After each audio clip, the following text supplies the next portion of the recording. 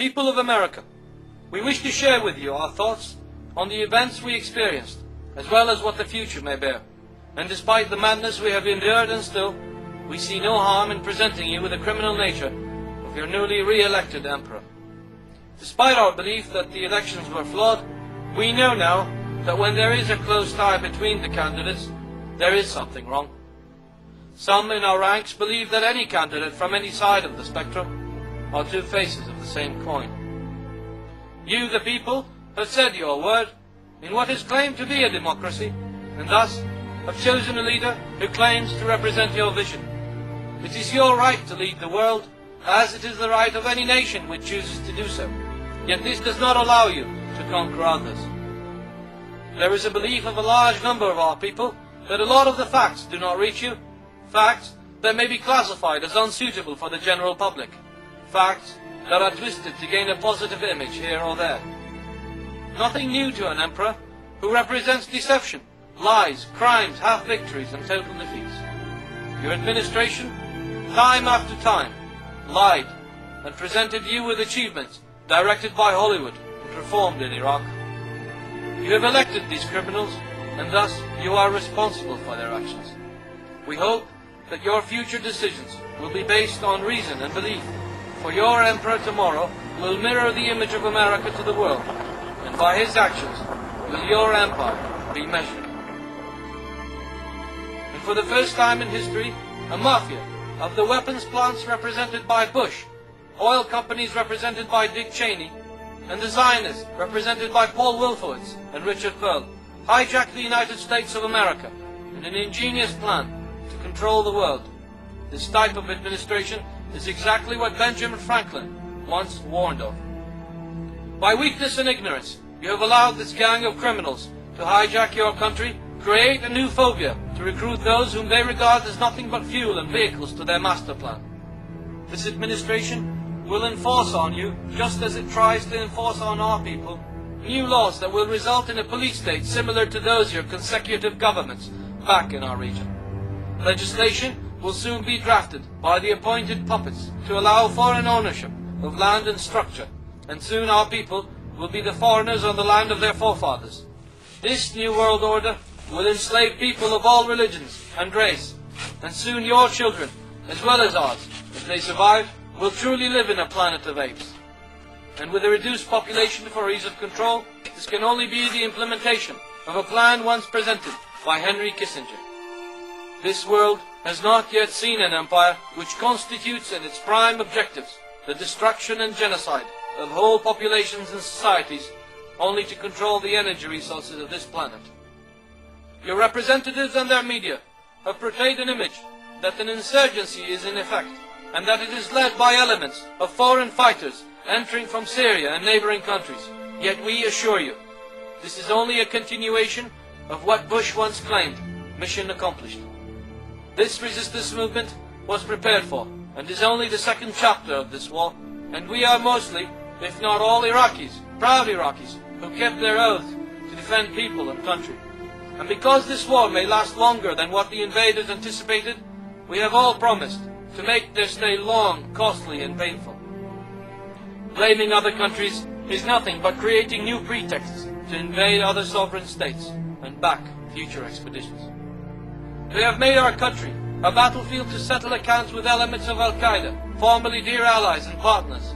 They have also created new phobias to justify their continued presence, despite their loss of this war. And for the general media, we call on them to think about what they declare and not fear death and imprisonment.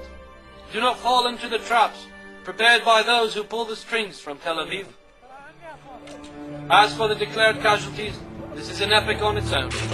We assure you that the figures are far higher than they declare. It is not a secret today in Iraq what we call the green card soldiers.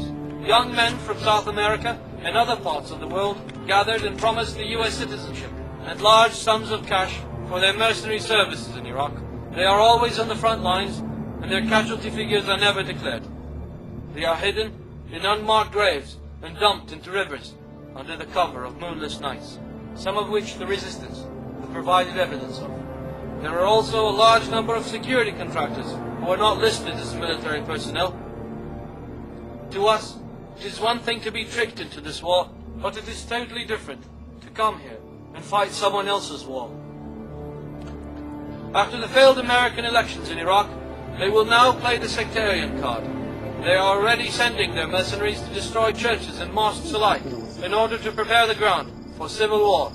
They will train more and more local traitors to conduct police operations and detention raids on anyone who does not accept democracy performed at the muzzle of a barrel.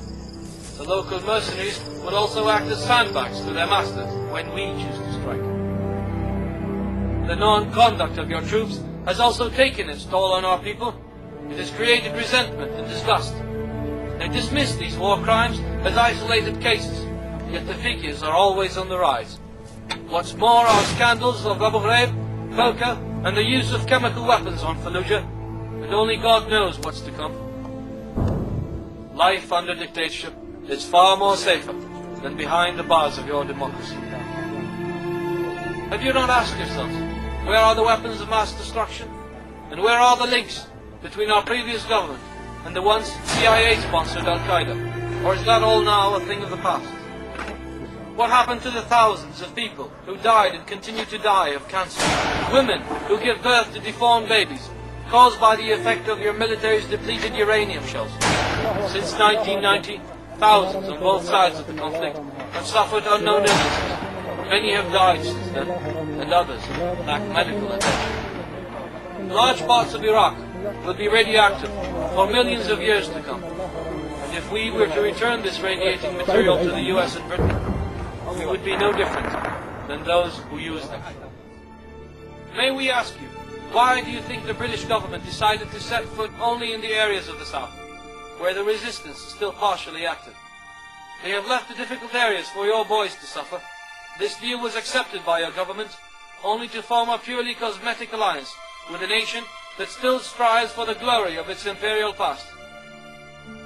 They have turned the land of the free into a camp of capitalist slavery, and then changed the home of the brave into a printing house for papers they call dollars, and guarded it with enormous military might.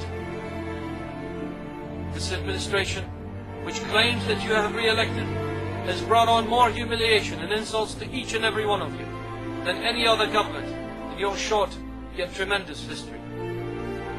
And as odd as it may seem, we advise you to take matters in your own hands and rid this world of such criminals, or any form of government which resembles the neocons in their aims. Form a third party if need be. Appoint those who resist preemptive war as true representatives of the people before it is too late. And if demonstrations and protests are not heard, use and protect what is left of your constitution and correct matters by force. This world awaits your move. Today these words may seem strange, but we believe that a nation which once gave the world John F. Kennedy, Benjamin Franklin, George Washington, Hughes and Henry Ford will not fall short of giving true leaders of substance and dignity. This war has taught us that one man on the field can change the outcome of a day. One man who believes in true freedom can do what nations put together dare think of. We share these thoughts with great honesty to those of you who spent days and nights trying to prevent this war, timeless efforts to prevent this real Holocaust. To all of you we say, thank you for your time.